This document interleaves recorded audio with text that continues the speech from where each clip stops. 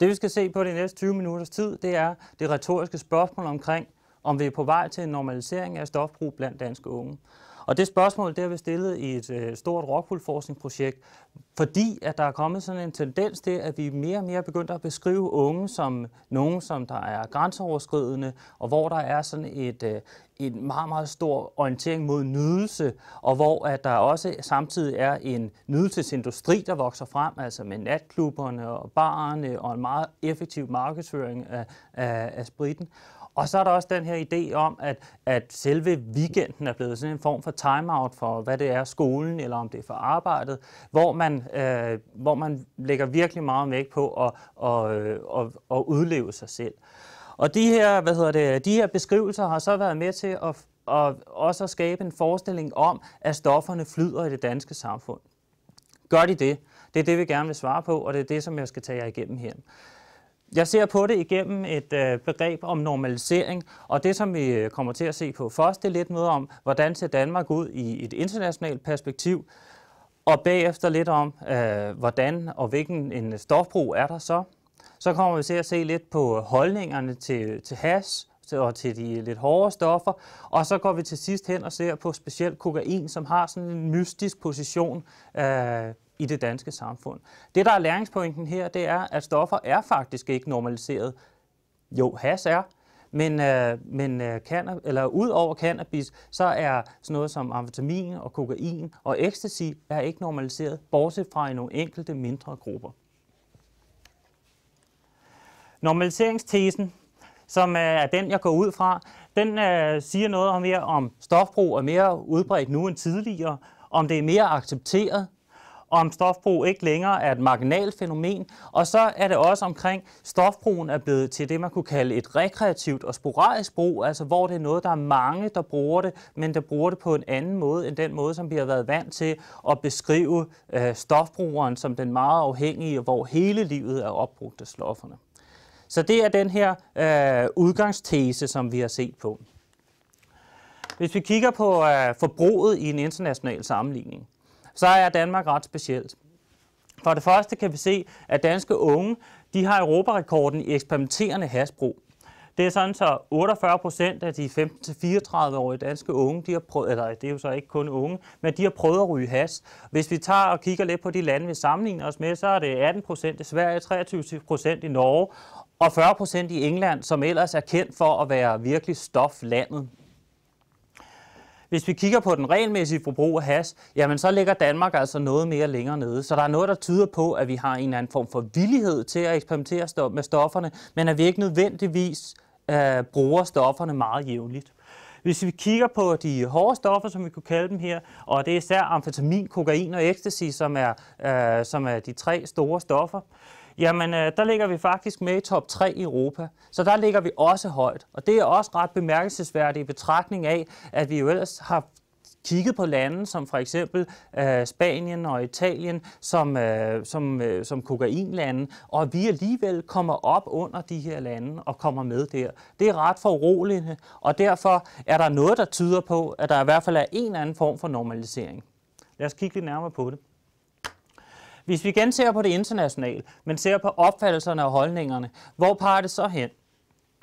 For det første mener danske unge, at has det er meget tilgængeligt, meget let tilgængeligt, og det er sammenlignet med unge i næsten alle andre lande. Man opfatter også som has, has som mindre farlig end unge, end unge i andre lande, lige bortset fra Holland. Og Danmark er det land i Europa, hvor, at man opfatter, øh, hvor færrest opfatter kokain som meget farligt. Så igen her er der altså nogle tegn på, at der er noget, der trækker hen imod den her idé om, at stofferne er normaliseret i en eller anden forstand. Men hvordan ser det så rent faktisk ud? Hvis vi prøver at kigge på øh, udbredelsen af has og andre, stof, andre euforiserende stoffer blandt øh, danske 17-19-årige, øh, og det er så data fra vores undersøgelse, jamen så kan vi se her, at øh, ikke overraskende, så er det, som der er mest er brugt, det er hassen. Det er 38 procent af de 17-19-årige, der har prøvet at ryge hash. Det, der måske er lidt mere overraskende, det er faktisk, at det er amfetamin, som der, der ligger øh, som nummer to. Måske skulle man tro, det var kokain, fordi kokain får en, en sørens masse omtale, men det er faktisk amfetamin, og sådan har det været i rigtig mange år. 12 procent af drengene har prøvet, øh, og cirka halvdelen af, af kvinderne er de 17-19-årige. Herunder ligger øh, kokainen og ecstasien øh, med henholdsvis øh, 7 og 5 procent, der har prøvet de stoffer. Nede under det, så ligger der nogle andre stoffer, der er lidt mere sjældne, men vi kan se, at for eksempel har 2% prøvet metamfetamin, som er den meget stærke uh, speed, som der også er kommet på markedet i, uh, i Danmark. Uh, og et uh, lidt gammeldags stof, man måske sige, LSD, er stadigvæk også øh, noget af det, der bliver brugt, dog kun af 2% af drengene, og igen er det cirka halvdelen af pigerne. Så det er en meget, meget stor kønsforskel her. Det er primært drengene, øh, men øh, pigerne er altså også rigtig godt med, især i forhold til de, øh, til de mest udbredte stoffer. Hvis vi kigger på noget af det, der ligger helt nederst, så kan vi for eksempel se, at heroin ligger med, med cirka 1%, der har prøvet heroin i den her aldersgruppe. Og det er noget af det, der igen peger over imod, at heroin er et stof, som er knyttet til en meget øh, jævnlig brug, og til en, øh, en, også øh, til nogen, der er meget afhængige. Det er ikke de stoffer, som, hvad hedder det, som de unge de stifter kendskab med. De bruger de stoffer, som de i høj grad kan, kan, kan tage i weekenden, som de kan tage i forbindelse med nogle, nogle festaktiviteter. Og det er derfor, vi beskriver de her stofbrug som en rekreativ brug. Det er en lille smule provokerende at kalde det en rekreativ brug, fordi at det er noget, som man kan sige, man bruger som en hobby. Men det er måske meget godt at prøve at tænke det på den måde, fordi for langt de fleste unge, så er de her tal af 38 procent har prøvet has, af 9 procent har prøvet amfetamin, jamen det dækker over, at det er noget, man har prøvet 1, 2, 3, 4 gange, eller man har prøvet det i, i, i en kortere periode, og så er der noget, der falder væk igen. For nogen er det mere regelmæssigt, men for mange er det et, øh, et meget sporadisk brug. Hassen er jo det store stof, og det er has, som der er, er væsentligt i forhold til både at måske egentlig at, at tegne, hvad, hvad stofbrug er i Danmark, men også i forhold til at forstå uh, nogle af alle de problemer, der også er med stofbrug. Fordi hassen tegner sig også for rigtig meget af, af mange af dem, der er i behandling for stoffer. Uh, og det, som vi kan se med hassen, hvis vi prøver at kigge på normalisering der, det er, at der sker en markant ændring uh, i opfattelsen af has fra de unge, de går i 8. klasse, til de går i ungdomsuddannelserne eller, første, eller i 10. klasse. Og det er, øhm, det er lidt interessant. Vi har prøvet at følge nogle af de unge og lavet kvalitative interview med dem, fra de gik i 8. klasse og helt frem til, at de kom i, i de her 10. klasser, eller i første G, eller på andre ungdomsuddannelser. Og øh, og det vi så, det var, at i, i en øh, 14-15 års alderen, altså der i en 8. 9. klasses alderen, der beskrev man has sammen med andre stoffer. Has var helt klart et stof, det var noget, der var farligt, det var noget, som man havde meget lidt lyst til at eksperimentere med. Der sker en meget voldsom forandring til de er 17-19 år, øh, og der lige pludselig er, er has blevet noget, som der er bliver grupperet sammen med alkohol, som noget, som man er, der er fuldstændig almindeligt, og noget, som man er nogenlunde fortrolig med. Og hvis man spørger, om de kan liste nogle stoffer, om de kan beskrive nogle stoffer, jamen så er has ikke et af dem, fordi has bliver ofte næsten ikke opfattet som et stof. Så der er altså en anden form for forandring. Den forandring er måske en lille smule parallel til den forandring, som vi ser, når de er yngre, nemlig fra at de går fra at være en, øh, en 10, 11, 12 år og synes, at alkohol og især fuldskab er ret ubehageligt og noget, som man er en lille smule bange for og noget, som man øh, kan blive chokeret over, når voksne mennesker er fulde til at når de så er en, en, øh, en 14 år, hvor de gennemsnitligt debuterer med fuldskab, jamen så er der lige pludselig blevet sådan en grundlæggende accept af fuldskab. Så der er også den normalisering af alkoholen. Og der er der faktisk lidt parallelt med hassen. Lad os se på et lille citat her. Det er nogle, øh, øh en fokusgruppe med nogle unge i en 8. klasse, som diskuterer her. Øh, spørgeren spørger så her, hvad med has? Og de siger alle sammen, ej. Ej, det vil jeg nok sige. Vi er ikke den type mennesker. Vi er ikke misbrugere. Okay, vi kan godt lide at drikke en tår og tosten. Det giver ikke permanente skader. Nogle siger, at has ikke er livsfarlig, men jeg er ikke vild med tanken. Jeg kan ikke se, hvorfor vi skulle gøre det. Når du ser folk, der har røget has, så sidder de bare og hænger, stiger tomt ud i luften.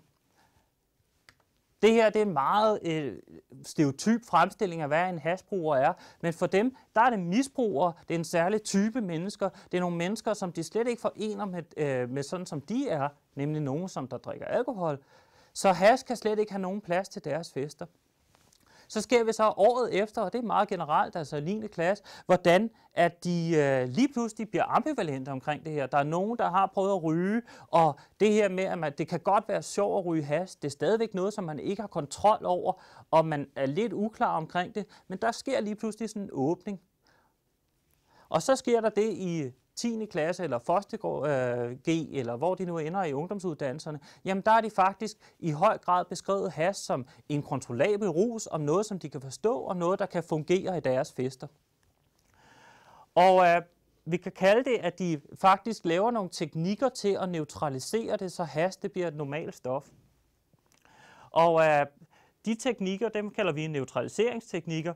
For det første, så er has lige pludselig gået fra at være noget, de jo ikke brød sig om, til at være noget, som har status af at være et feststof. Når jeg siger det, så er det ikke fordi, det er et gå i byen stof, men det er et stof, der kan fungere, når man er til hjemmefester, når man sidder sammen. Der er man fortrolig med det. Det er, øh, man har en holdning til hasrusen som kontrollabel og det er meget vigtigt, fordi faktisk drejer den meste stofbrug sig faktisk om kontrol af rusen. For hvis ikke man har kontrol af rusen, så er det ikke en nydelsesfuld rus. Men nu oplever de rusen som noget, der til dels er kontrollabelt. Og has er lige pludselig noget, som der ikke knyttes sammen med andre rusmidler. Det er det, som jeg har, eller andre, øh, andre stoffer, som jeg var lidt inde på. Og så skælder man til gengæld rigtig hårdt mellem, at man kan ryge has sporadisk, det vil sige en gang imellem, øh, måske en, øh, for nogen er en gang imellem til en weekend om måneden, for andre vil en gang imellem være, øh, være hver weekend, og for andre igen vil det være hver tredje måned. Men hvis man gør det øh, en gang imellem og ikke fast, jamen så er det igen noget, som der er acceptabelt. Så hvis hash bliver røget på de her måder, jamen så bliver det fremstillet som et normalt stof.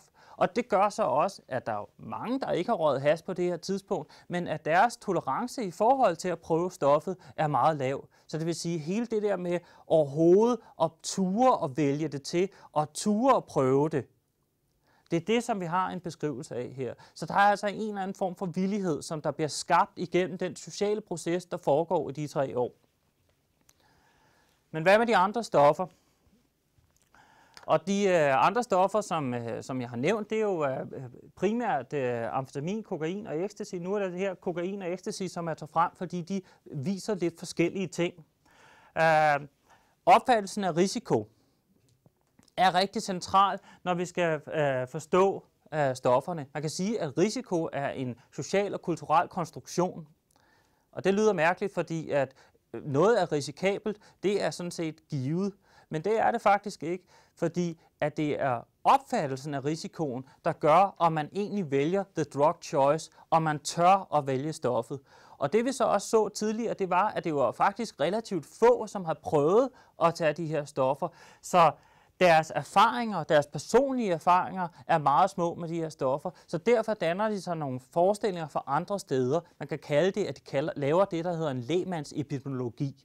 Det er, at de, de danner deres egen forestilling om risici. Og den risici, det er så den, der er afgørende for, om hvorvidt de tør have stoffet eller ej. Hov, så. Hov, det var god.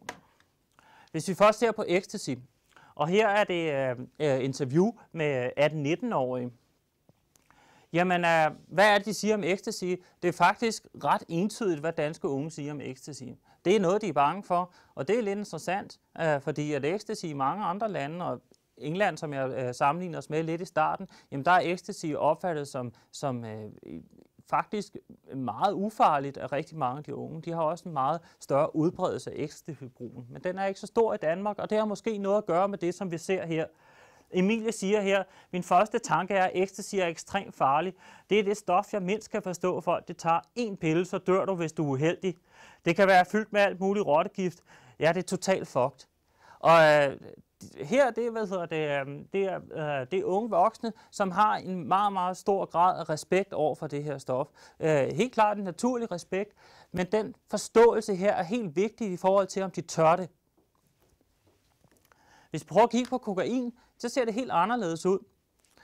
Det er jo ikke fordi, at der er så mange flere, der har taget ecstasy end kokain. Jo, der er flere, men det er stadigvæk, begge stoffer er jo, er jo noget, der ligger dernede omkring en 7-4 procent. Men der er stor forskel på, hvordan de opfatter stoffen. Og her siger Nora, det er også med 17, eller 18-19-årige, han siger, coke det igen forbi. Det er sådan normalt. Normalt er normalt, men der er rigtig mange, jeg hører om, det tager det i hverdagen. Og det er jo ikke, fordi de ikke kan stå oprejst og klare deres job alligevel. Tværtimod har jeg hørt, at de arbejder mere effektivt, når de tager coke. Så det, det er en helt anden fremstilling. Og hvor ecstasy-fremstillingen var meget entydigt negativ, jamen så er der her en eller anden form for åbning i forhold til kokainen. Og den åbning, den er interessant, fordi kokain er måske det stof, der faktisk mest står på vippen i forhold til at blive normaliseret blandt de, øh, de hårde stoffer. Hvis vi skal prøve at, og samle lidt op, så kan man sige, øh, at for ecstasy, så er der det her diskursen om indtagelsesmåden, har vi kaldt den. Det vil sige, hvordan man tager stoffet. Det er en pille. De siger, den her pille, det er jo ligesom en vitaminpille. Øh, så den er ikke så, øh, det er ikke så grænseoverskridende at tage den. Det gør, at ecstasy på en måde kommer til at fremstå en lille smule positivt. Det samme med has. Det er noget, man kan ryge. Vi kender til at ryge cigaretter osv. Det er ikke så grænseoverskridende at prøve det på den måde. Men det, der så trækker stærkt i den anden retning på ecstasy, det er så den her dødelighedsdiskurs, som jeg viste jer et eksempel på før. Hvis I ser på kokain, jamen der ser det anderledes ud. Der er der den her hverdagslivsdiskurs, som jeg beskrev for jer før. Det her med, at man forestiller sig, at kokain det kan indgå i hverdagslivet. Den diskurs, den har de i meget høj grad for medierne. Øh, det vi kan se, det er, at øh, kokain er det stof, der får det får tre gange så meget eksponering som for eksempel amfetamin, selvom amfetamin er mere brugt. Og når der så er eksponering af kokain, så er det meget høj grad i sammenhæng med, med, med celebrities og kendiser, som der tager stoffet. Det kan godt være, at de er ude og skide, og de er øh, rundt på gulvet osv., og de har svært ved at styre deres liv. Men alligevel, så er det noget, der indgår i nogle liv, som der er offentlige, og som de ser fortsætter, og de ser, at de her mennesker ikke nødvendigvis dør.